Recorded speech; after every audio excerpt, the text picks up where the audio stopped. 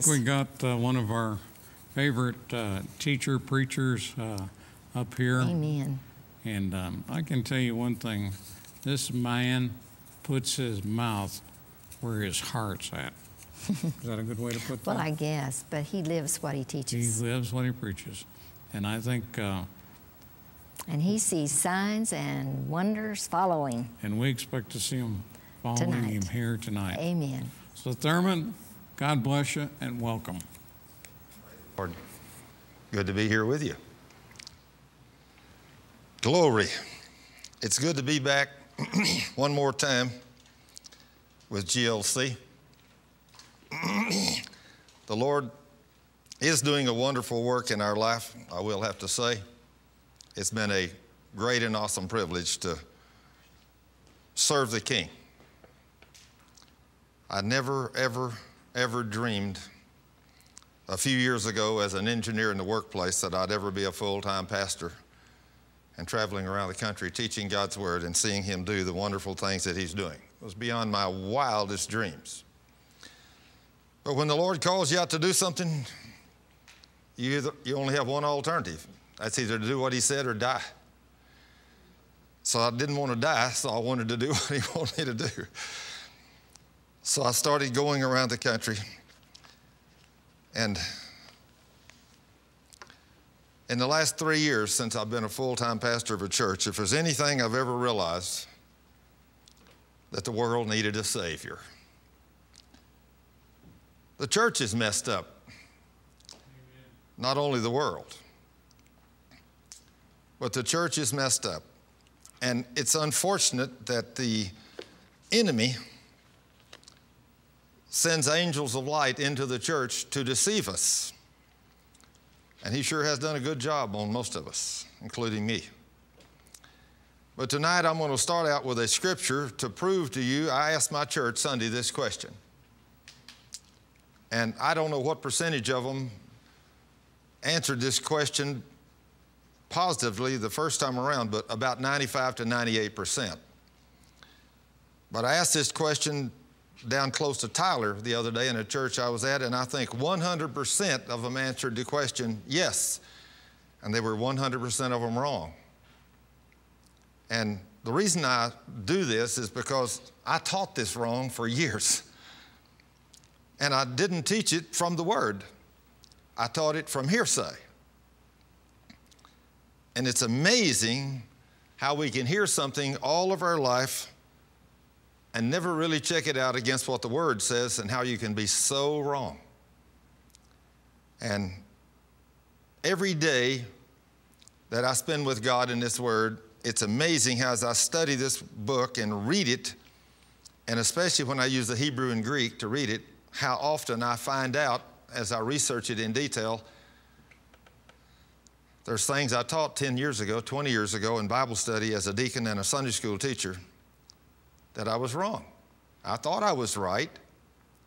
And from what I observed, I thought, wow, you know, I can't be wrong. But even sometimes when you look at the Word, you're wrong. And now I understand why we're so messed up in the church. Because I've been messed up in so many areas. And I'm continuing to get revelation. I don't know whether the Lord is just beginning to open our understanding to things today or what. But I'm going to ask you a question, and I want you to think about this question for a minute. How many of you have heard that you are the bride of Christ? How many preachers have taught that the church is the bride of Christ, the Lamb's wife? It would be interesting if I could see you out there on the other end of television world see how many of you right now are holding up your hand. If you believe you are the bride of Christ, hold up your hand. Well, until just a few years ago, if somebody asked me that question, I would have held up my hand. Now, why would I have held up my hand on that? Because I had heard all of my life that the church is the bride of Christ, the Lamb's wife. A few years ago, I was reading the book of Revelation, and I don't know how many times I'd read it. but it had never become a revelation to me until this certain day. One day I was reading this over in Revelations chapter 21, and I came upon this little topic, and I know that I'm not the only one in the world that's ever done this. Sometimes I feel like I am. That I've read the scriptures time and time and time again, and I thought I had the answers. And then I realized, just like this question tonight, how wrong I was. Like I say, if you'd asked me a few years ago, Are you the bride of Christ? I would have said yes. But I want to read something to you out of Revelations chapter 21. And you might get your Bible and follow along with me because maybe your Bible reads different than mine. But this is why it's so important that you don't believe anything you hear if it's not confirmed, at least with a written word of the living God. Amen. So I'm going to show you how I was deceived because I had heard from Sunday school teachers and from preachers on television, everywhere. I had heard many people, and I taught it that way. And of course, you could very well go back. Some of you may go back and say, "Well, I saw you on a particular television channel 10 years ago, and you made that statement yourself, if you can remember that far back." Some of you may have some of my tapes, and I may have made a statement about the bride of Christ and said we're the bride of Christ. But if you got one of those tapes I made years ago, you're going to find out it was wrong too. So the revelation we get on a regular basis, I want you to think about what I'm going to read here in Revelation chapter 21. I'm going to start with verse 2. And I, John, saw the holy city, the New Jerusalem, coming down from God out of heaven, prepared as a bride adorned for her husband. That's what he said he saw. The city adorned, prepared as a bride adorned for her husband. So you think, well, Okay, that kind of got my attention. But then when I got just a few verses further down in chapter 21, I come to verse 9. and verse 9 it says, And there came unto me one of the seven angels which had the seven vials full of the seven last plagues, and he talked with me, saying, Come here, I will show thee the bride, the Lamb's wife. That's pretty, pretty clear, isn't it? I'm going to show you the bride, the Lamb's wife. Okay. I thought, well, I wonder who she is. I thought, I don't have to worry about that. I know who she is. It's the church. And then verse 10 says, And he carried me away in the Spirit to a great and high mountain and showed me that great city, the holy Jerusalem, descending out of heaven from God. The Lamb's wife. Isn't that strange that the Lamb's wife is a city? It's a city. And he carried me away in the spirit in a, to a great and high mountain and showed me that great city, the holy Jerusalem, descending out of heaven from God. And that is the Lamb's wife. I thought, so the church is not the bride of Christ at all. I, th- I wondered, anyway, I thought, how in the world can I be the body of Christ and be his bride? and then it all made sense to me for the first time in my life. I'm not the bride of Christ, I'm the body of Christ. Last night, as my wife and I, of course, that two those two beautiful ladies that just sing, they're my own worship and praise team the older one, if you could tell which one that was, they both look beautiful and young. The older one was my wife, and the younger one is her daughter. But they're my own beautiful worship and praise team. But last night, as we sat there in the hotel, I was talking about the unity that we have with Christ, with my bride. I told her, I said, you know, God has made us so close to Himself that it would be impossible for us to be any closer. If we were, we would actually be above the Godhead. He made us organic unity with Himself. We are the literal cells, because He calls us fingers and arms and so forth. We are the body of Christ. We are not the bride. But I don't know. That might not be a revelation to you. Many of you may already know that. But it's amazing in the last two churches, one of them including my own, that I asked that question in, one of them was 100% wrong. 100% of the people said they were the bride of Christ. In fact, one of the ladies came up to me after the service. I taught a healing school there for about four or five hours on a Saturday. one of the ladies came up to me after it was over and she said, Sir, I have been taught I am the bride of Christ all of my life. She said, if I were to go back home to my church and show them in the book of Revelations where I am not the bride and we, the church, is not the bride, she said they would probably throw me out of my church. I said, Isn't it amazing how we read and interpret the Word of God incorrectly? it is kind of amazing. It would be interesting for you if you're watching this show tonight. It would be interesting if you would call us, of course, we have a number uh, on the screen and we have a ministry number. And of course, we, the, in fact, the, the CD that Cheryl, my wife, and her daughters sing that song, uh, all these songs that they'll be singing the next couple of nights, uh, Cheryl has written that music and put the music to it and everything. God has really gifted her. and any of you that would like to have that CD, uh, it has six songs on it now, and shortly it'll have 10. But any of you that would like to have that song, if you'll call our ministry center, it's a number that we'll put on the screen. It's on the screen right now, I think. If you'll call that number, we will be happy to send you that CD free and postpaid. But those two girls, they're really anointed and they are really blessed. And I'm blessed to have them. And I'm grateful to the Lord. But when I think about how I have been deceived in my years as a man going to church, and how I took the Word of God that was taught me in church, and I never took the time to read this book for myself in detail. I've now come to realize that's the problem with the church, even myself. I read this book in detail, but I still have so little revelation on it.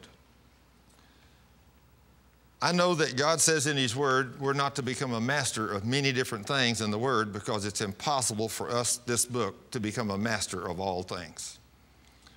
So, most of the revelation He's given me in this book revolves around healing. The Lord Himself came to me 27 years ago and spoke to me in an audible voice. That was a great revelation. I had no idea that the Lord would speak to people in an audible voice. But the first time he spoke to me in an audible voice, it so got my attention. And of course, as he continued over the years, he built my faith. Second time he spoke to me in an audible, audible voice, he, and when I say audible, it sounds audible to me. It's just like I'm hearing my voice right now. And when I hear that voice, it just blows me away. In fact, I was speaking in a large conference the other day with a very large ministry. And the man has got about 2,000 employees working for him, I believe he said. And he said, Thurman, I've been in the ministry for 50 plus years. I have never heard that voice, that authoritative, audible voice. I told him, I said, Well, sir, maybe the Spirit speaks to you and you're not as hard headed as I am. I said, maybe that I'm so hard to get through to, the only way God can get through to me is speak to me audibly. I don't know. But I said, you know, you might be amazed at the people that has heard God's voice if you were to ask that question. He said, Well, I've never asked that question. I said, Well, since you've never heard it, doesn't mean he's not talking to other people. so we got in the car with three other men, and he asked the question. He said, Have any of you men ever heard the authoritative or audible voice of God? And much to his amazement, two out of the three had heard it. And I thought that's amazing. So we go over to a makeup room. We were fixing to be on film. They were going to, it wasn't television, but they were going to video uh, the teaching we were going to do that day. So we went to the makeup room and they were going to make us up try to make us look a little better for television if that was possible. And there was two beautiful young ladies in there in their early 20s. I asked the question, have either one of you young ladies ever heard the authoritative or audible voice of God? Immediately, one of the young ladies said, I have. The other one said, I never have. I asked the one that said she had, I didn't ask the two men, but I asked this one. I said, Young lady, would you mind telling us your experience with God?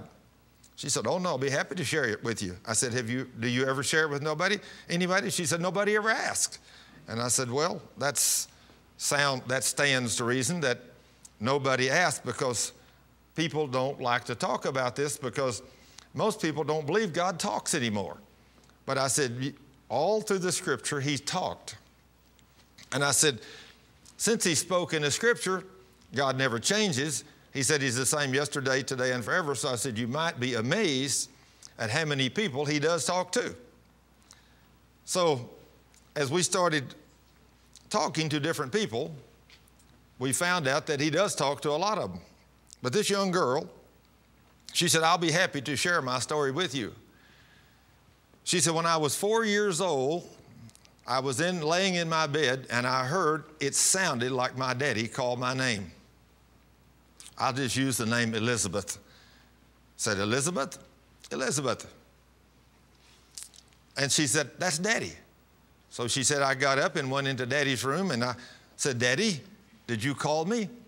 He said, No, honey, I didn't call you. Go back to bed. So she said, I went back in my bedroom and I went to bed. She, I'd lay there for a little while and I heard Elizabeth, Elizabeth.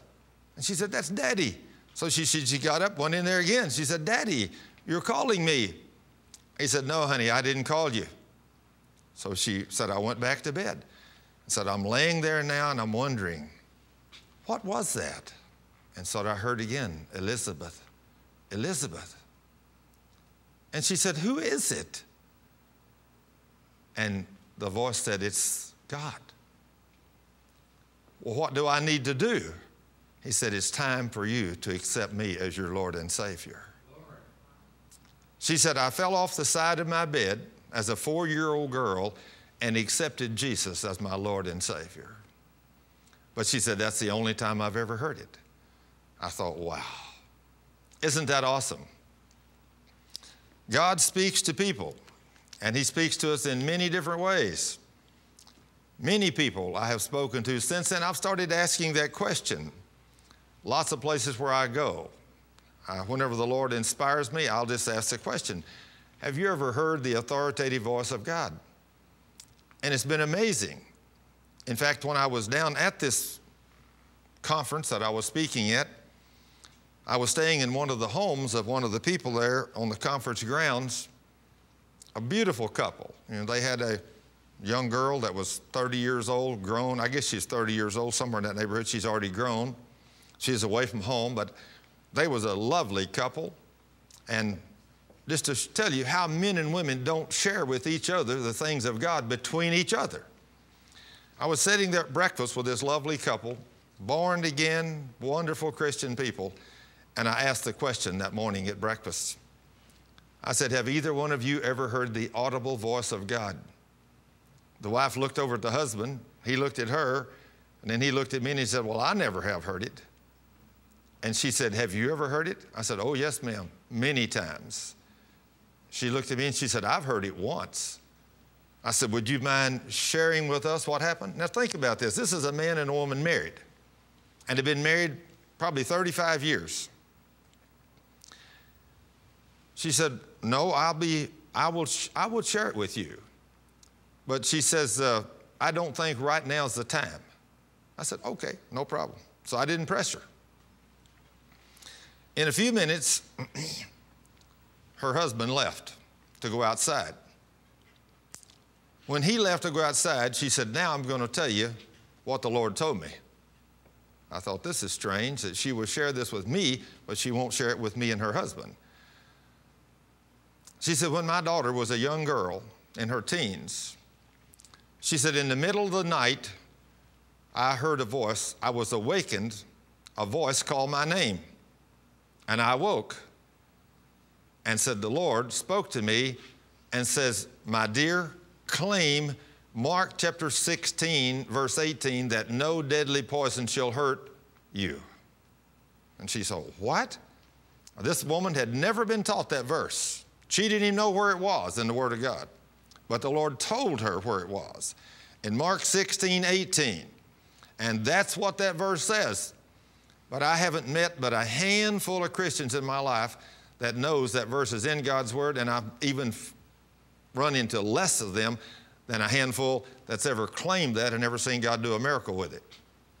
I've claimed that verse many times and seen God do many mighty, wonderful miracles, even in my own life with Mark 16, 18, that says in the first part of that verse, No deadly poison shall hurt you.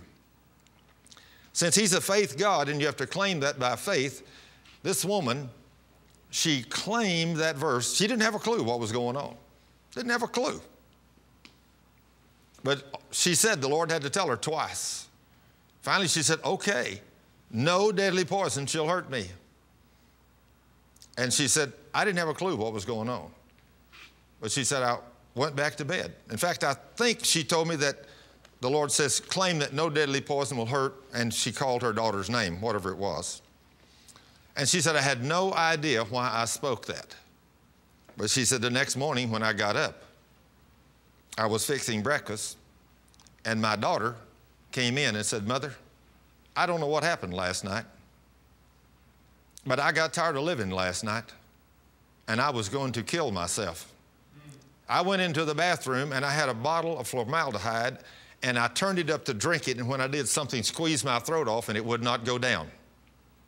She said, I tried again, and something squeezed my throat off and I could not swallow it.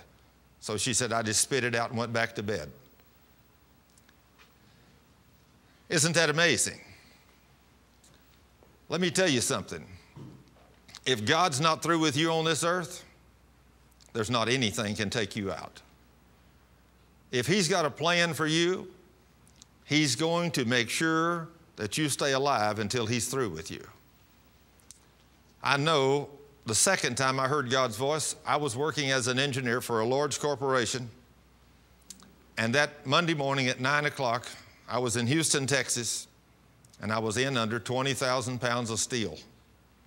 And all of a sudden, out in the middle of nowhere, I heard this voice Son, you forgot to do your paperwork this morning. I thought a minute and I said, Lord, that's right. I was going to come by the corporate office and do my paperwork this morning, and I completely forgot it. But I said, Lord, I only like 15 minutes under here, and then I'll run right back over there and do it. He said, No, son, I want you to go do it right now. I thought, Well, Lord, I don't know what the big hurry is, but okay. So I crawled out from under that and stood up and took the second step and the supporting structure holding 20,000 pounds of steel exploded. And 20,000 pounds of steel was laying right where I was five seconds before.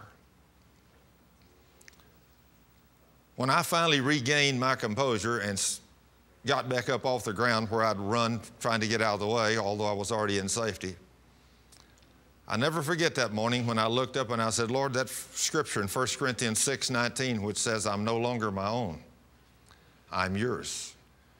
I am bought with a price, the price of the only begotten Son of the living God. He paid an awesome price for the church, and I didn't have a clue, really, what was going on on the earth. I had so little knowledge of this book, but that drove me into a much deeper, closer walk with the King. Over the years, as he has spoken to me many times, many times, he has revealed these scriptures to me in many ways, and He's put me into a ministry that, for the organization I came out of, I used to belong to an organizational church, and they don't teach hardly anything that God shows me in the Word today in the area of healing and deliverance. They just don't believe in it. I didn't believe in it either. But after the Lord showed me these things, I totally changed in the way I'd done business.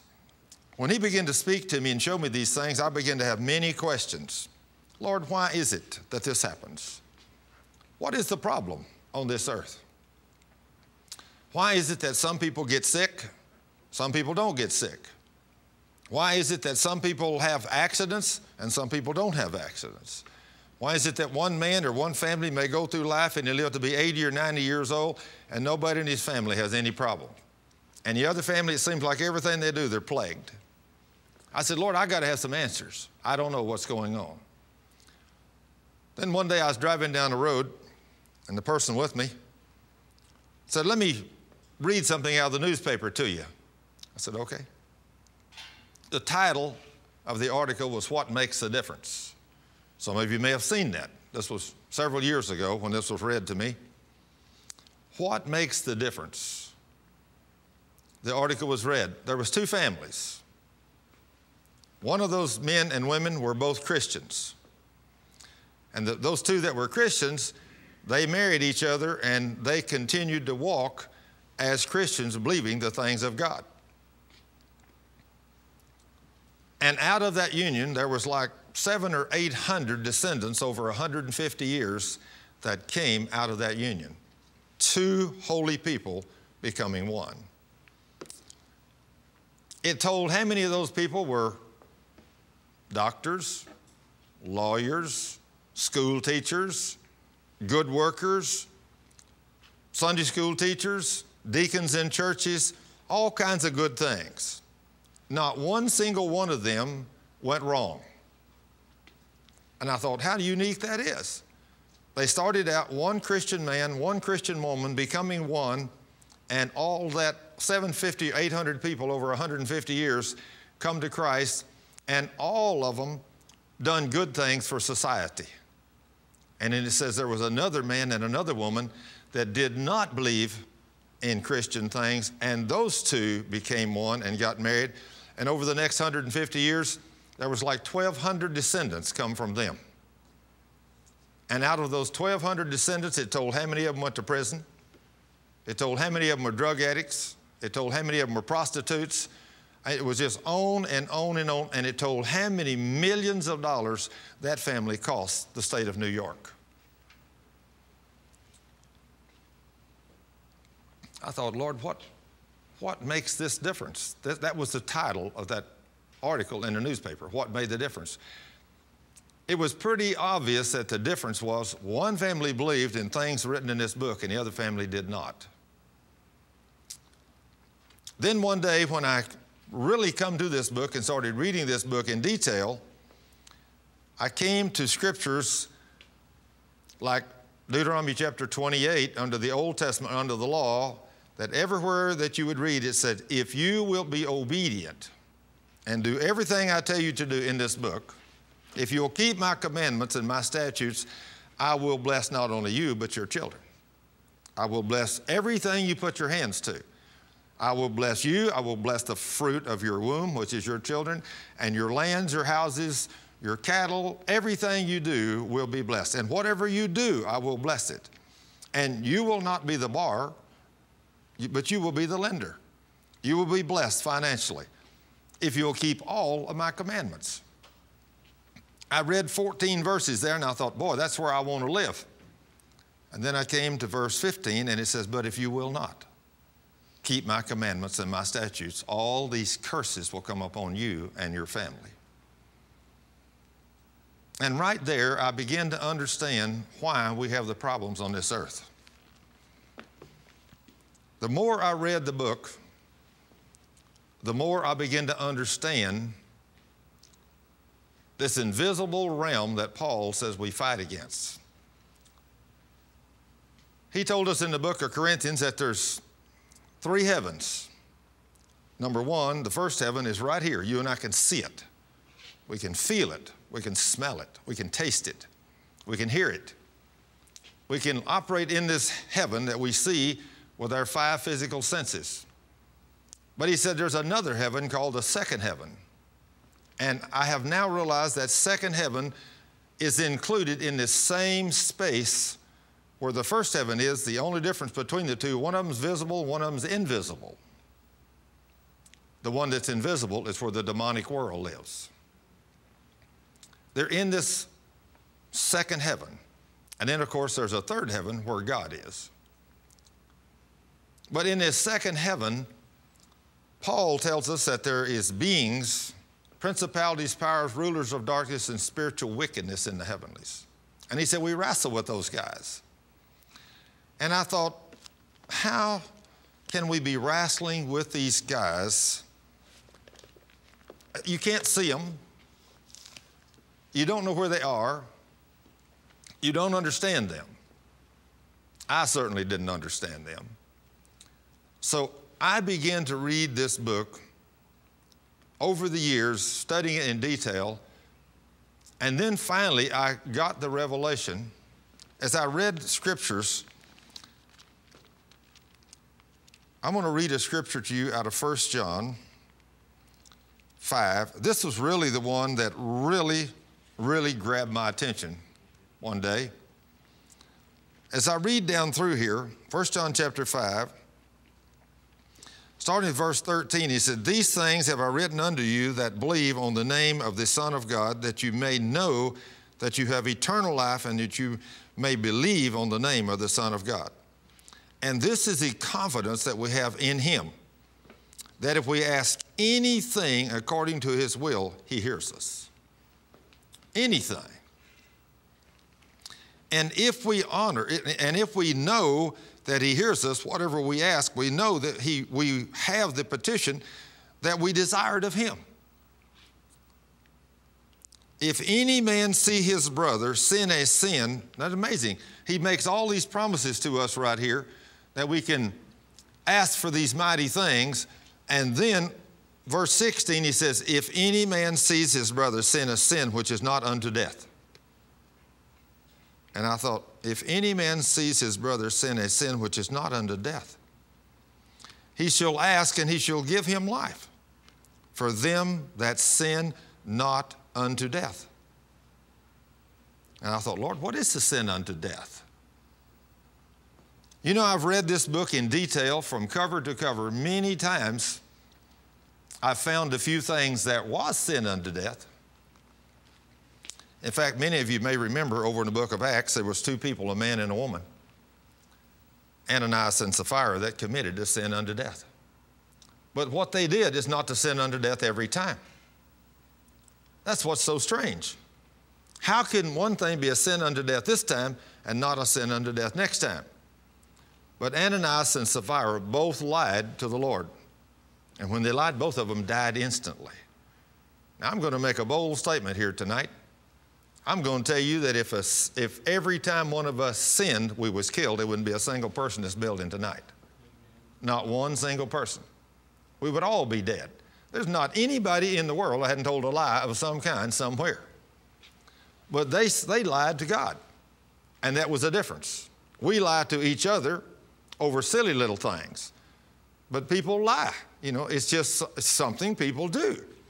I have tried my best to totally, completely not tell any kind of a lie, any kind.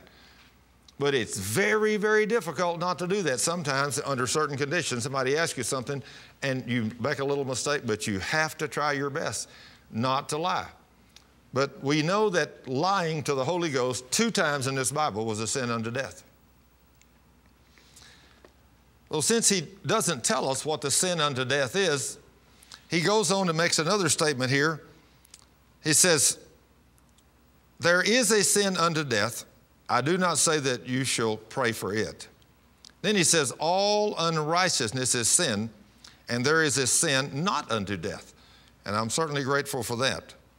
In verse 18, the statement he makes here next is when I begin to doubt whether I was a Christian or not and you might be where I was.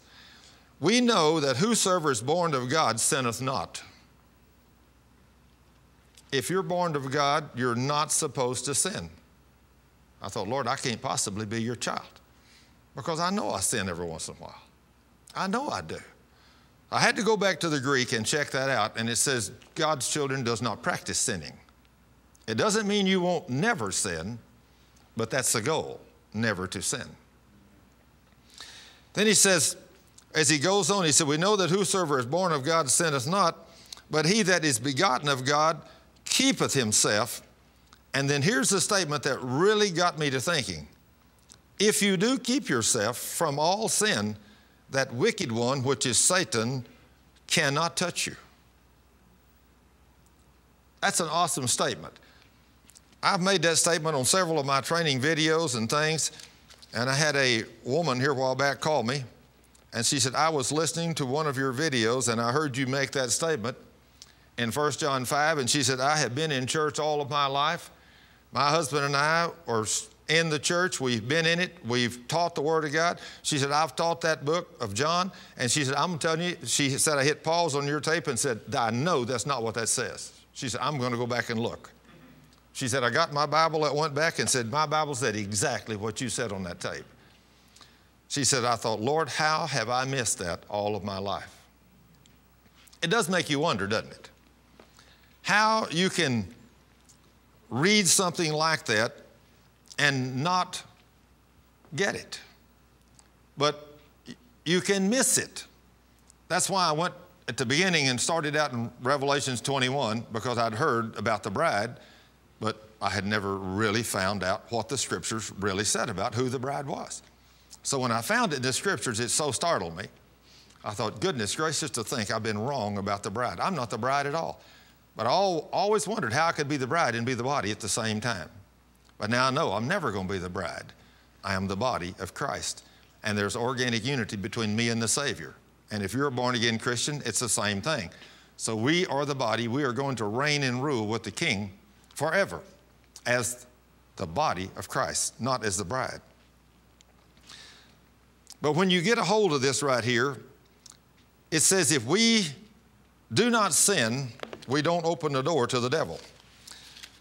Then I begin to understand people in the church that sin. I begin to understand why so many people were sick and afflicted. Because sickness and disease comes from the enemy, the devil. So whenever you sin, in whatever way you sin, you open a door to the demonic world. And as you sin and opening that door, I have now come to realize that and I often wonder this why, if especially 2,000 years ago, if Jesus came to this earth and he destroyed completely the works of the devil and disarmed him, and all power and all authority was given to him in heaven and in earth, then why did he leave the devil here? There's a lot of good answers to that. Not just one, but several. But one of those is Satan has now become the executive department, you might say, for the spirit world. Think about what I'm going to tell you. Some of you are probably going to disagree with me, but I want you to think about this. In the system we have on this earth, in our law system, we have a legislative department that makes the law. We have a judicial system, which is the courts which interprets the law we have an executive department that enforces the law. Now, I want you to think about what I'm going to tell you. In Romans chapter 13, the Lord clearly tells us as Christians we are to obey the laws of the land. Now, you would think if God told the church to obey the laws of the land, there would never be a church member that would break a law. You would think that if we're supposed to be obedient and die to sin, and we're never to sin, that if the legislative department would make a, a, rule out here on the highway that said the speed limit on the highway is 60 miles an hour, and they put signs up and down the side of the road that says maximum speed 60 miles an hour, absolutely no Christian would ever break that law, would they? Unfortunately, they do. And since they do, and you may be one of those that do that. I know when I was a young man, I did that all the time. I mean, I did it so many times as a Christian, they even took my driver's license away from me. You know, I didn't obey the law. I didn't really know I was supposed to obey from the Word of God. I did know I wasn't supposed to speed. I knew that. But since I did speed and the legislative department made the law, the executive department enforced it. They put a police officer out there to keep me in line. And when I broke the law, they picked me up, they gave me a ticket, and I paid the consequences. I've now realized that the executive department in the spirit world is the devil and his demons. Satan cannot bat an eyelash without approval from God. He cannot do nothing. But since he's totally defeated, totally destroyed, totally disarmed, if you don't sin, that beast cannot touch you. He cannot touch you, he cannot touch your family, as long as all of you walk in total obedience to God's word. When I learned these principles and learned how to walk in faith, now some of you are going to think I'm crazy, but I stopped sinning. Just like when I go down the road, I don't break the speed limit. When I drive down that road out there, if it says 60, I set my cruise control on 60. If it says 70, I set it on 70. If it says 35, I drive 35. I do everything in my power to obey every law of this land I can. And you know how many years it's been since I've been stopped by a police officer? I don't even remember the last time, but I don't break the law. Since I don't break the law, I don't have to worry about the executive department. But I also learned how to walk in faith and walk like the Lord told me to walk in His Word and obedience to it 20 years ago. And although I didn't know that the first 45 years of my life, the enemy beat up on me pretty severely with sickness and disease the first 45 years of my life. But the last 20 years of my life, since I started reading this book and being obedient to it and walking in love and doing what the Lord says, I, have, I can stand before you today and say, Praise God, because of the Word of God and because of faith in the Word of God, I have been able to walk to the age of almost 66. I'll be 66 in December. I have not had one sick day in the last 20 plus years. That's a wonderful place to walk. I don't have to even be concerned about waking up in the morning and being sick. If you walk in love and you walk in faith, the promises of God will work for you. I'll give you an example. My bride, Cheryl, the beautiful lady that was singing there a while ago, her and her daughter, we went out of town to preach the other day, and of course, she had a knee that's giving her a little trouble. And so we went to bed that night, and her knee was bothering her. She couldn't sleep, and I went right off to sleep. I sleep good. And uh, she tried to, a couple times gently to wake me up. She wouldn't do anything. I told her, Why didn't you shake me? She said, Well, you were sleeping so good, I didn't want to wake you up. But about five o'clock in the morning, she got up to get out of bed. She was hurting so bad, and when she got out of bed, she woke me up. And so I saw her limping across to the bathroom, and I got up and I said, Honey, something wrong with you? She said, My knee's been hurting all night. She said, It's in such pain, but I've prayed and prayed over it, and nothing's happened. I said, Come over here and sit down on the bed. She comes, sat down on the bed. I quoted Matthew 18, 19, in faith. And I asked the Lord to take away her pain and completely heal her knee. And then I said, Lord, since she hadn't had any sleep all night, and Cheryl and I are going to have to sing. She's going to have to sing, and I'm going to have to teach the Word of God at this church. I said, I ask you to anoint her supernaturally so she'll have the strength just as if she'd had 10 or 12 hours of sleep. Within minutes, her pain went away, standing on a promise in God's Word, Matthew 18, 19.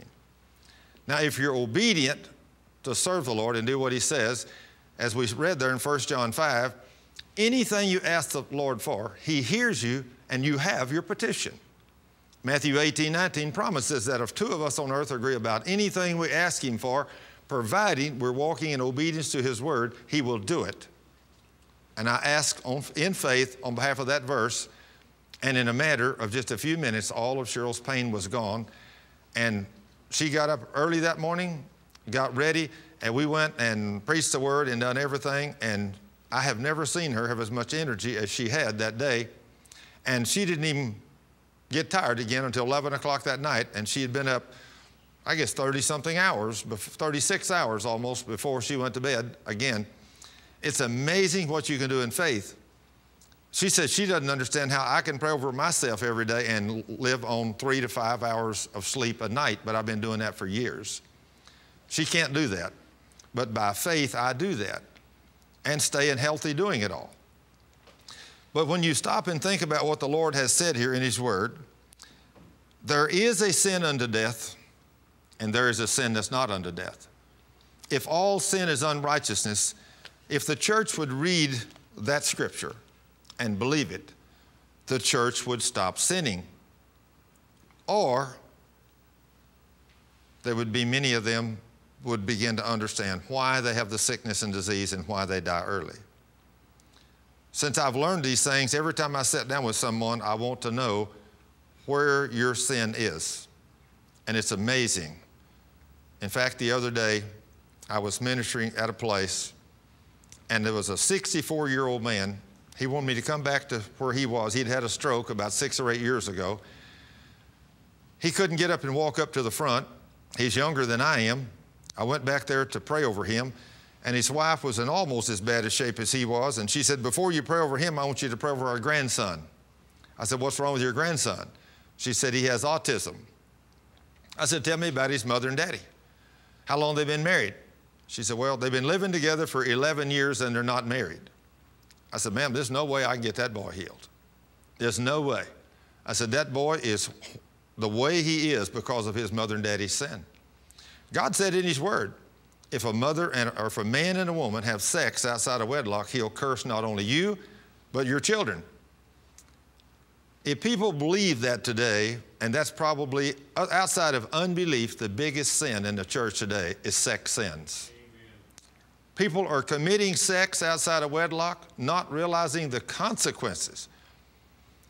But that's why so many children are born handicapped, mentally retarded, organs missing, everything. It's just amazing when you get a hold of these things. In fact, we have a lady working for us at our ministry. And this lady is a wonderful lady, and she had a good friend, relative of hers, that lived with a boy and brought a little girl into the world. Just a few days after the girl was born, the girl was on her deathbed with a liver failure, three or four days old. She went over to the relative and found out the girl had been living with a young man out of wedlock. If you don't know these principles, you think, well, that's just, just the way it is. The little girl's just going to die. But it makes you wonder how one brand new baby comes into the world totally healthy, lives 80 to 90 years, and the next one comes in and the liver fails in three or four days. Don't make sense, does it? Well, let me tell you, it's blessings and curses. That's what it is. So, this little girl, when they found out what her problem was with her mother, this lady that works for us in the ministry, she got the young woman to repent of her sins and make God a promise she'd not go to bed with that boy again unless she married him. And once the girl repented, then hands was laid on the baby and prayed, and the devil was rebuked, and the little girl was completely healed in one hour. That little girl is a year old today and a beautiful little girl because somebody come to her mother that had brought the baby into the world in sin and had told the mother what was the requirements and the mother listened and repented. It's amazing.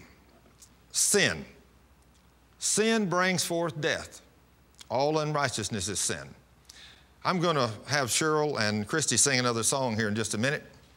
Uh, while they're getting ready uh, I've got just a couple more things I want to say here, but I want the, the girls to sing one of their beautiful songs. And like I say, if you would like to have these songs or any of our tapes or anything that we have, if you'll call the number that they place on the screen once in a while about our ministry center, we will be happy to send you these CDs or these audio video tapes free and postpaid. We have people tonight sitting there uh, ready to take your call if you want to call and get some of our information. We'll send it to you free and postpaid. But one of the things I want to close on here before I take a little break and let the girls sing this song remember, all unrighteousness is sin. All unrighteousness is sin. And sin leads to death. It doesn't always lead to death instantly, but it will lead to death. And that's why a many a person that starts sinning find themselves getting weaker and weaker and weaker and coming down with diseases is because they're sinning. If you stop sinning, like Jesus healed the man had been down paralyzed all those years, he told him, Now I've healed you, I've forgiven you. He said, Now stop sinning, or something worse is going to come upon you. Well, I want to say one thing about that Thurman preaching. Brother, you're as good as anybody I've ever heard, and I appreciate you. I really do. Thank you for being part of GLC.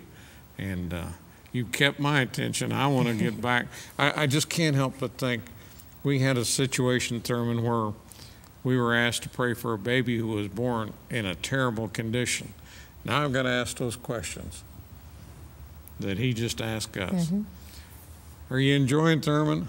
Absolutely. Let's give him my hand now.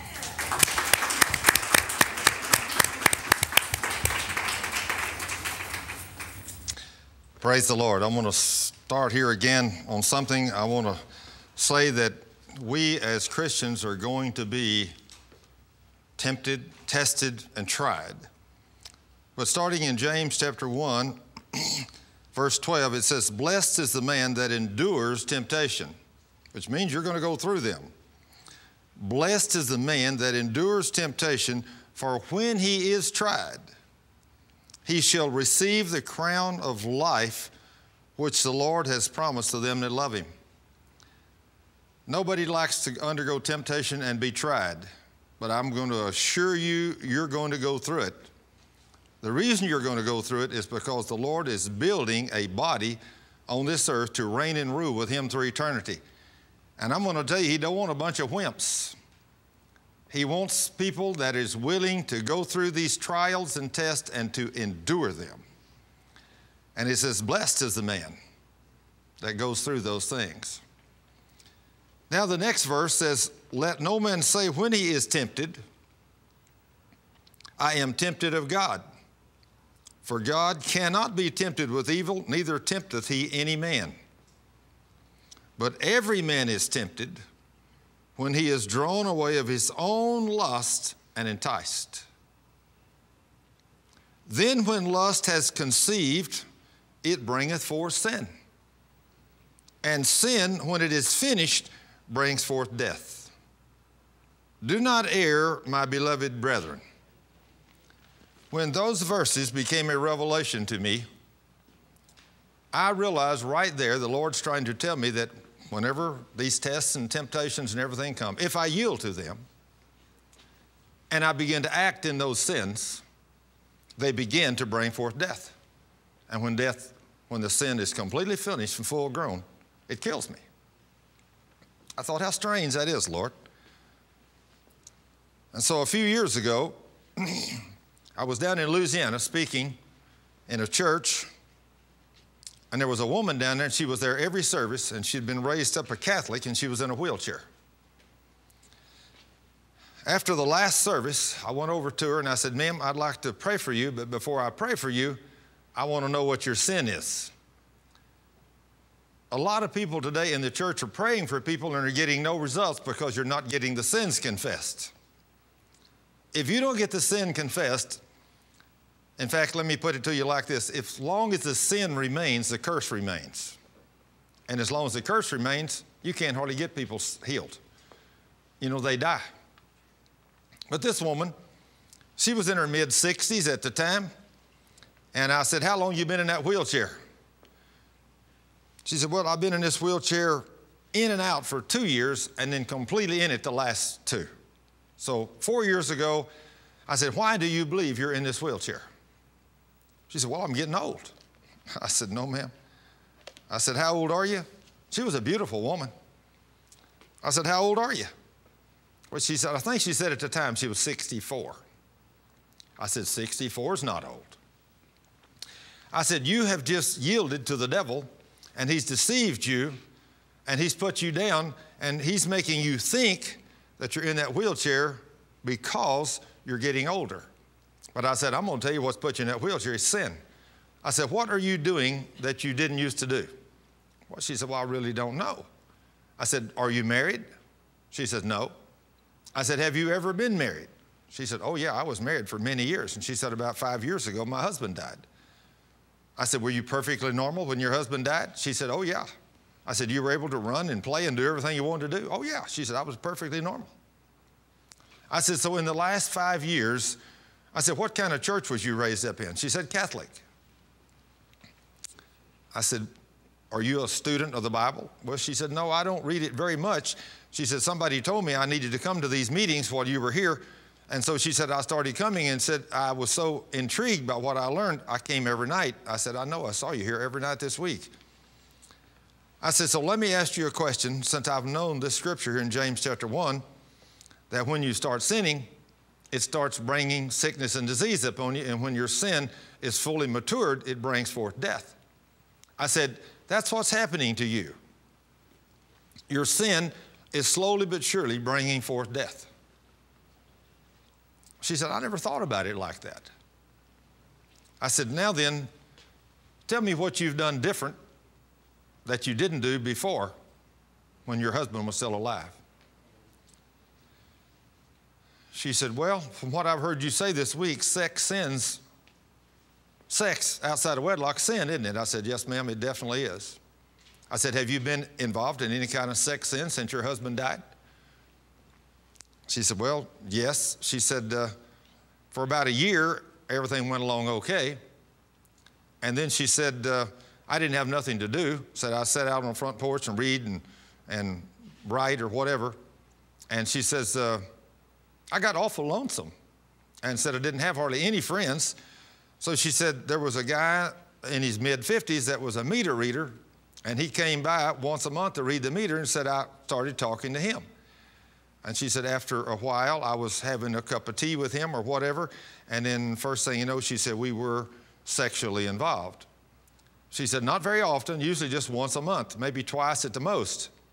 But I said, That's when you started sinning. I said, That's when you were tempted with sin and you yielded to the sin, and the sin started a process of death in your flesh. I said, You were inviting demons into your flesh, and as the demons came into your flesh, they're killing you slowly but surely. And I said, Right here, the Word of God says that whenever your sin is fully matured, it brings forth death. I said, That's what's happening to you. You're yielding to sin. The temptations are there, you're yielding to them, and now then it's beginning to slowly destroy and kill your body. And I said, When it's fully grown, you're going to die. And I said, You can see it, just your body's going downhill all the time. She said, Wow, I didn't know those things. I said, Well, I said, God's merciful and gracious. I said, Would you be willing to ask him to forgive you? I said, In 1 John 1 9, the Lord is a very merciful and mighty God. And I said, He will forgive you for your sin. I said, He made a set of rules, and when you break those rules, there's not anything He can do about it. He's no respecter of persons. You break the rules, what He says happens, and it happens. And, and he, can't, he can't change it for anybody. I said, It happens to everybody that does this sooner or later. She said, Wow, I didn't know that. She said, Yes, I will ask him to forgive me. I, and I said, Now, repent. You know what repent means? She said, Well, I think I do. I said, Well, repent means to turn from your wicked ways and don't do them no more. She said, I thought that's what it meant. I said, So you repent and ask God to forgive you. Next month, that guy comes by, you don't go to bed with him no more. She said, I understand that. I said, Okay. Sometimes I've learned as a preacher that sex sins are not talked about very much in the church, but I've come to realize now there's so many people sick and afflicted in the church because of them, it's time somebody starts talking about them. And so I've started talking about them, and you would be amazed at the people that I've seen healed in these areas in the last few years when I've started talking about this. Seen many mighty, wonderful miracles of healing from people that were involved sexually outside of wedlock and they were dying. This woman repented. She asked God to forgive her. You talk about a merciful God. Here's a woman about 64 years old that's been in a wheelchair solid for two years, hadn't walked a step in two years, and she repented of her sins. And after she repented, I told her, I said, Now then, ma'am, I said, the Lord says you and I can agree upon anything and He'll do it for us. I said, so let's take Matthew 18, 19, the prayer of agreement, and let's ask the Father in Jesus' name to restore your strength back like you were so you can walk again. I said, would you be willing to agree with me that He would do that for you? She said, I will. And so I prayed the prayer of faith for her, and she agreed with me. And I said, now then, ma'am, take my hand and step out of that wheelchair. That woman took my hand and stepped out of that wheelchair. That woman walked off from there, and I was invited back to that same church a year later, which was last March, and when I was there, that woman was still there, and that woman is still walking and hadn't had any problems. And when I saw her, I recognized her. She's still a beautiful woman. I told her, I said, ma'am, how are you doing? She said, oh, I'm doing great. I said, you hadn't fell back to your old ways, have you? She said, no way. No way. I am not going back to those old sins. I came home, and of course, I told that story a few times this last year at different places where Cheryl and I preached. And she told me, she said, honey, you need to tell that story often. She said, people need to understand what brings these things upon them. And so we were down in Dallas the other night. And I told that same story after I taught on these verses. And there was a 42 year old woman came up to me after the service for prayer in a walker, 42 years old. She came up and she said, Sir, I had no idea what I was doing. She said, About a year ago, I was perfectly normal. She said, My husband left me. I'm 42 years old. She said, I wanted a partner sexually, and I didn't have one. So she said, I found one and said, I'm not married to him. And she said, I've been sexually active for almost a year. And she said, I'm getting weaker and weaker. I had no idea that's what was putting me in this walker. Isn't it amazing what we don't understand? We read this book and it says, But every man is tempted when he is drawn away of his own lust and enticed. Then, when lust has conceived, it bringeth forth sin, and sin, when it is finished, brings forth death. I guess we don't believe this book. And then the next line says, Do not err, my beloved brethren. Do not err. I think we've been taught in the church so long that because we live under grace instead of the law, we can just do anything we want to do and there's no consequence. But that's as far from the truth as you can get. Let me make this statement to you tonight. if you transgress the law of God as a believer, if you're a believer and you're walking holy before God in a love relationship with God and with all people, and you're walking in faith under grace and you break God's law, let's say you fall to a sexual sin. When you do, you've just fell from grace, you've transgressed the law, and the devil has legal right to get you. That's absolutely what the scripture says. Paul told us that in Galatians chapter 5. I don't know how many times I read that before that became a reality to me. Like Al said a while ago, when people call in that want you to pray for them, in my ministry center, that these numbers that we post, our telephone number and our website, we never pray for anybody without asking them what their sin is, what their relationship is with the Lord. Because it does very little to zero good to pray for someone without getting them to repent of their sin. And then after you get them to repent of their sin, you got to build their faith because they have to come to God in faith. If you don't believe He'll do what He says He will do, you might as well have stayed at home. Without faith, it's impossible to please God. I know the first majority of my life, I didn't realize God was a faith God. I didn't realize that when I asked Him for something, I had to have every sin confessed, walking in obedience to His word, because He says, I do not hear the prayer of a sinner. So I realized that if I wanted God to hear my prayers, I had to make sure my sins were confessed. When I confessed my sins, and then when I learned that He was a faith God, I had to come to Him on behalf of His Word, quoting His Word, and believing His Word in faith, nothing wavering. That's when I began to see the Lord do great and mighty things in my life.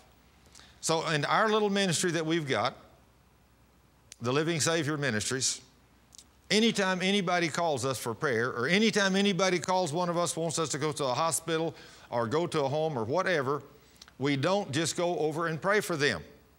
We find out where their faith is, build their faith, find out what their sin is, and get it confessed. I am completely convinced that that's why we have such a tremendous track record of getting people healed. When I learned just asking in faith, in fact, I had a very large ministry, a man that back in January, I, I won't call his name, although he is a tremendous man of God, has a tremendous ministry, but his ministry is not healing. But he called me and was talking to me about some of these wonderful things God's doing. And he said, I've heard good things about your ministry.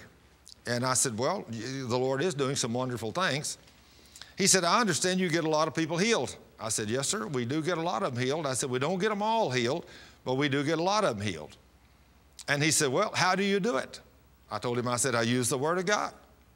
He said, What scriptures do you use? And so I started out for an hour and a half, I quoted him scriptures. After an hour and a half, he said, I'm going to check you out. I said, Okay. A couple weeks later, he called me back and he says, I checked out every scripture you used in the Hebrew and the Greek, if it was Old or New Testament. And he said, You know what those verses say? In the Hebrew and the Greek, I said, Yes, sir. I've checked them out already. They say the same exact thing they do in the English. He said, That's exactly right. He said, Some of the promises and statements you're using in God's Word are so powerful. He said, I didn't dream God meant what He said. I said, Well, see, that's how we get in trouble. We don't believe God. Now, if God made a statement telling you that sin brings forth death, why do we not believe that? That's powerful, isn't it? But it's obvious most of the church don't believe that either because if they did, they wouldn't be out sinning tomorrow. They'd be doing something else. You'd walk holy before God if you believed that your sin was going to start a death process in your body. Let me give you a quick example of what I'm talking about right there. Let's, let's say somebody comes in, hands you a pack of cigarettes as a young person, and says, Let's smoke a cigarette. Okay, you try that. So you smoke a cigarette. Is one cigarette going to kill you? Probably not. Depends on what's in it, but probably not one regular cigarette won't kill you. But if you smoke a pack or two or three a day for 20 years, they will. What it did, it started a death process in your body, the very first one, and it went right down the line until it finally kills you. Some things work quicker than others. But when you open the door to some of these sexual sins, it really gets you. But anyway, this gentleman, he said, You know, this is amazing that you're getting all these people healed. I said, Well, sir, it's just God's word. So anyway, he later called me back one day and he said, Thurman, I got a problem. I said, What's that? He said, A young man that works for me in his 20s, he's already had back surgery once. And he said, Now then, he's down with his back again. He come in my office today with a walker. And he says, uh, the doctors gave him three different options, and all of them was surgery in the long run. He said, I told him, I said, why don't we call Thurman? Let's see what you say about this. I told him, I said, well, I'm going to give you a fourth option, and it's Jesus. You know, that would have been my first option, Jesus. But seems like we try everything before we come to Jesus. Because this young man had been to the doctor, and they'd told him, in fact, he'd already had surgery on his back once, and now he's re- ready to have it again. So, anyway, I went through this young man. I talked to him for 45 minutes. I said, Son, you're a Christian? Oh, yeah. I said, Are you walking in obedience to God's word? Oh, yeah. I said, Well, I don't know if you are or not. I said, Are you lying, stealing, cheating, living with some girl out of wedlock? No, no, no. He wasn't doing none of those things. He appeared, since he worked for this very good ministry, he appeared to be a very fine young man walking in all the faith he had. But he was still sick and afflicted, still down in his back. I told him, I said, son, you seem to meet all of the criteria God requires except one thing. He said, What's that? I said, Your sin is unbelief for the promises of God. He said, Sir, I believe God's word. I said, No, there's a problem here. He said, What do you mean? I said, You got a back problem, and your schedule for surgery, probably within 30 to 60 days, or at least that's what they told you is going to have to do. And I said, You've not went to God yet on behalf of his promises, have you? And he said, Well, I, I guess I really haven't. I just got back from the doctor. I said, See, if you had taken Matthew 18, 19 and believed that, God would have healed your back. I said, Since you got everything, since you're walking holy before God, and I asked him about his family life, and there was no curses that we could find, anything, because see, it's not always your sin. Sometimes it goes back three and four generations into the past until you learn that you have been redeemed from the curse of the law. But before you learn that, if you don't claim that at an early age, and then some kind of sickness and disease comes upon you, that curse from your father, your grandfather, or your great grandfather, or anybody in that line back at least four generations could be bringing this sickness and disease upon you according to the Word of God, unless you had somebody born out of wedlock, and then it goes back 10 generations. And there's very few families that you can find today that if you go back 10 generations hadn't had somebody born out of wedlock. So the devil has an open door to us. There's no two ways about it. That's why we as the church needs to learn how to walk in faith and claim the redemption from the curse. So anyway, as this young man, I had him turn in his Bible to Matthew 18, 19. I said, turn over there, young man. I called his name and I said, read that promise to me. I have used this verse in Matthew 18, 19. I don't even know how many times. I mean, there's many, many wonderful promises in God's Word, but that just happens to be one of them. And that scripture clearly says, Jesus is speaking, and he says, Again, I tell you that if two of you on earth agree about anything you ask me for, it shall be done for you by my Father which is in heaven. An awesome statement, isn't it? But most of us don't believe it. Well, this young man obviously didn't. So that was his sin. I told him, I said, the sin of unbelief, according to Hebrews 3:12, is an evil heart of unbelief. I said, if you got an evil heart of unbelief in you, God won't hear your prayer. He said, Well, I didn't realize it was that serious. I said, It's very serious. I said, So what you need to do, you need to tell God you're sorry for not believing his promises. So that young man in his early 20s, right there on the phone with me and that other minister, the man in charge of the ministry, all listening on a conference call there. They were on a speakerphone. He heard everything I said in that 45 minutes. And then at the end of the 45 minutes, I said, Now I have to pray for you in faith, nothing wavering.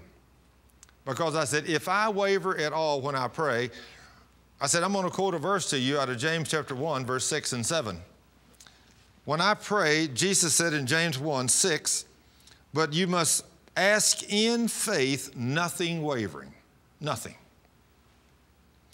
For he that wavereth is like a wave of the sea, driven with the wind and tossed.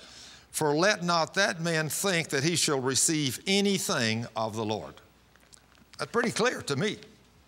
So when I ask, I have to ask in faith, no doubt in my heart, no wavering, that if God made me a promise, it's a done deal. I got to believe that. So I prayed that prayer of faith for him. And I said, Now, do you agree with me? He said, I do. He said, It's written in God's Word. I said, Okay, good. I looked at my watch and I said, Oh, my goodness, son, I've got 10 minutes to get to a Bible study. I said, Just a few minutes. I said, I don't have time to wait. I said, Call me tomorrow with your praise report. Now, see, if you believe that, you believe God heard your prayer. Amen. I hung up the phone and run. I just barely got to the Bible teaching in time that night that I was teaching. The next morning at 7 o'clock, my phone was ringing. I got up and answered my telephone, and it was that minister. And he said, Thurman, five minutes after you hung up the phone yesterday, this young man that works for me was completely healed, running around all over the office doing everything he wanted to do. And said he played basketball last night and everything, and said he don't have a single pain this morning. Well, over the next uh, month or two, a couple months, whatever it was, I prayed for a couple of other people in that man's office, and they were the, the same thing. They were miraculously healed. Then the man that run the ministry was so, so inspired by what happened, he called me one day with another pastor of another huge church, and he had a son. And that son was in excruciating pain, torment. He called me first, said, Thurman, I got a pastor friend of mine that's been in the ministry 50 years. He's got a son, and he said, uh, He's in pain, and I've seen God heal all these other people. Will you pray for him? I said, Sure. He said, If I set up an appointment next Thursday morning at 10 o'clock, can you be available? I said, I will be. The next Thursday morning at 10 o'clock, my phone rang, and he said, I've got you now, and I got the others. He said, I want you to talk to this young man and his daddy. Well, I know the man that run the ministry. I've never met him, but I've watched him on television lots of times. He's a very, very well known pastor. Been in the ministry a long time. Great man of God. And if you ask him, you, he'd say, Yes, I believe this book. But that's what I would have said too. I believe this book. So I talked to them two and a half hours on the phone. I talked to the young man at least an hour and a half, hour and 45 minutes, just the young man. But everybody was listening. And the one thing the young man would not do, he would not repent of his sins. He would not acknowledge he had any kind of sin, and he would not repent. He said, finally, he said, I said, you know, son, the minute you repent and get right with God, he's going to heal you. He said, I'm tired of this. I've heard all I can stand. And he said, I'm, I'm going. I'm hurting. So he hung up the phone and left. His daddy come on the phone and he told me, he said, Thurman, the gospel you're preaching is a condemning gospel. I said, sir, if the word of God condemns you, then you're living in sin. The Word of God says it. I said, I will not whitewash the Word of God. I said, if the Word of God clearly says, when your heart condemns you not, you have the petition you ask of God. I said, I don't know your son, and I don't know you personally, but I have seen you on television a lot of times. But I'm going to tell you that your son has a sin, a besetting sin that Paul talked about in the book of Romans. And that besetting sin is keeping him bound. I said, I don't know what it is, but I said, he knows what it is. But I said, until that young man gets that sin confessed and he repents of it and turns from his wicked ways, I said, that young man's never going to get healed. When I learned all these principles and started questioning people, I started having very, very good response and started seeing Jesus heal a lot of people.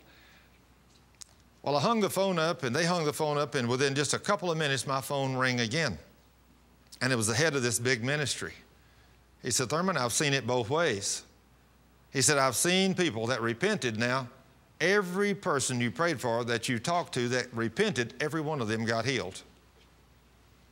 But he said, the ones that didn't, didn't.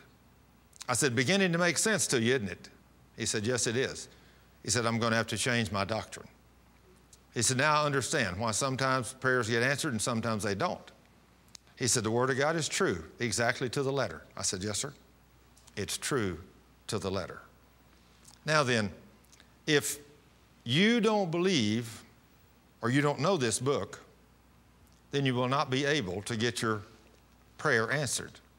But when you come to God, if you come to Him not in faith, you will not get your prayer answered.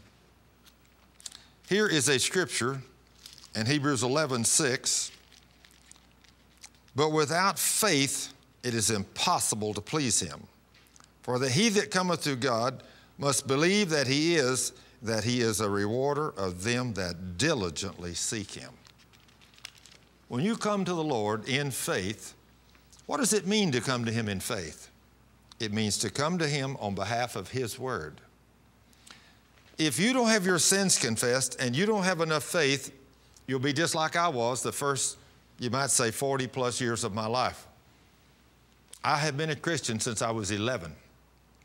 But I didn't know these things until the last 20 something years.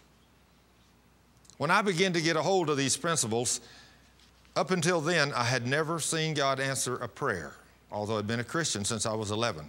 So for 30 years, I'd been a Christian, never seen a prayer answered. I've seen a lot of Christians like that.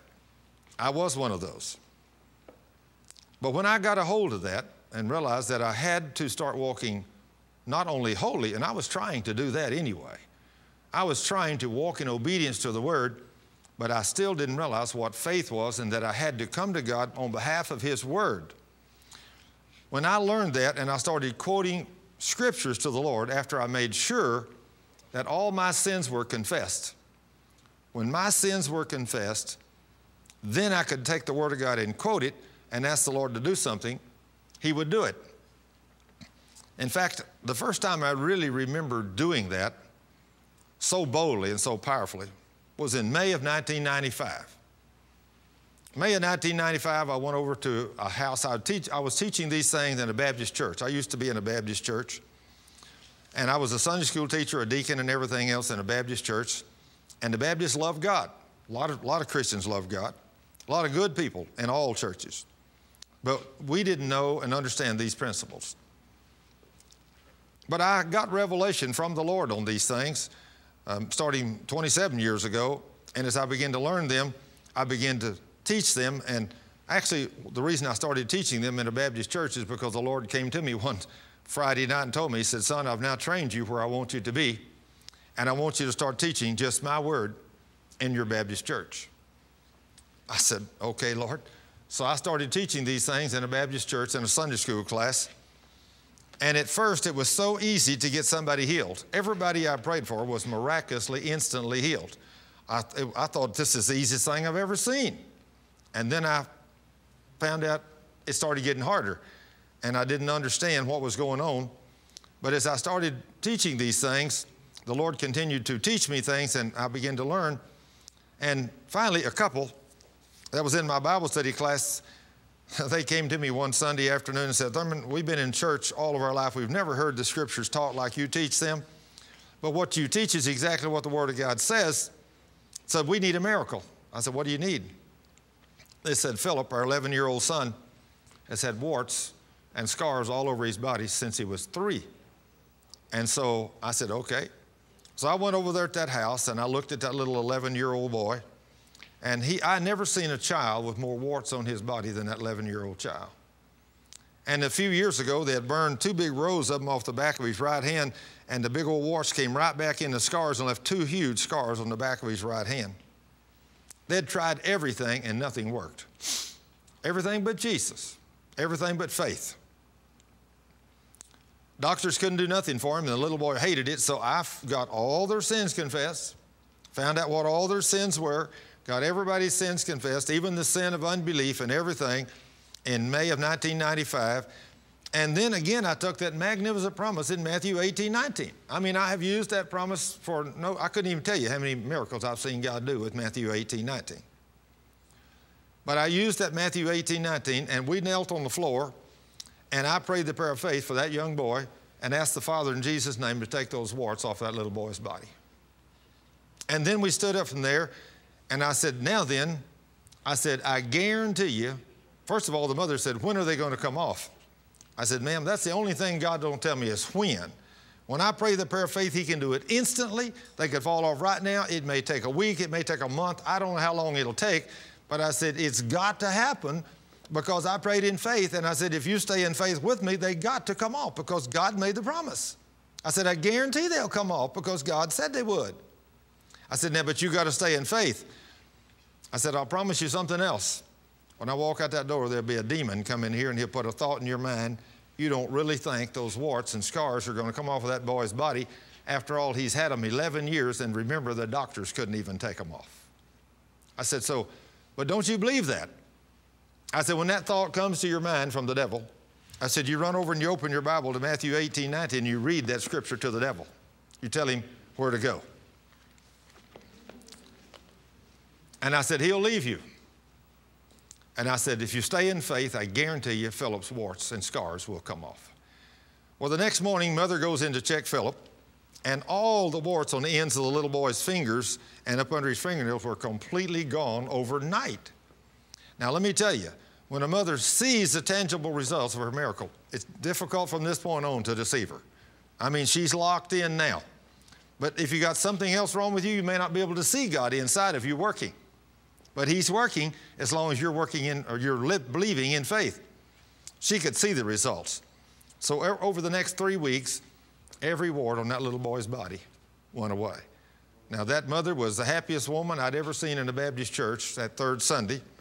In fact, I've made this statement lots of times. You don't see a charismatic Baptist church member very often, but I saw one that Sunday. That woman was charismatic. She was jumping, screaming, praising God in church. Can you imagine? She had seen the Lord do the first thing, a miraculous thing she had ever seen. So she said, Look, Thurman, the only thing is left is those two big scars on the back of Philip's hand. I told her, I said, Ma'am, don't stop believing now. Continue to believe, and you will get to see the glory of God as He continues to take off those scars. Whatever you do, keep praising Him and thanking Him and worshiping Him, and they will go away because Matthew 18, 19 made you a promise. I said, All of y'all's sins are repented of. God promises that all of His promises in His Word, the answers to all of His promises are yes and amen for His obedient believers every time.